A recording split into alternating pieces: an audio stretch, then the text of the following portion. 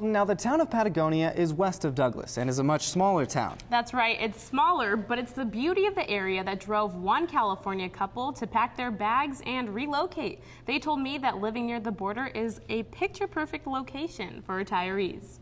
After searching for a place to retire, I found this place and I liked it.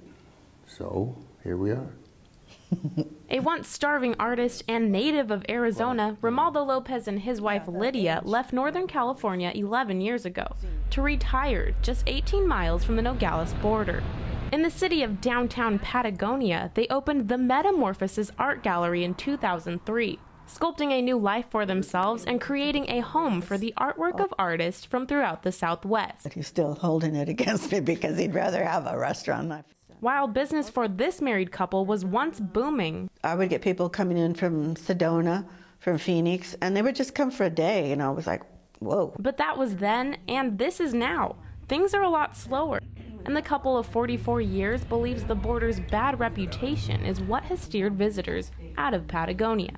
Now I don't see that frequency anymore. But it hasn't scared them away. There are problems at the border, but uh, we feel fairly safe.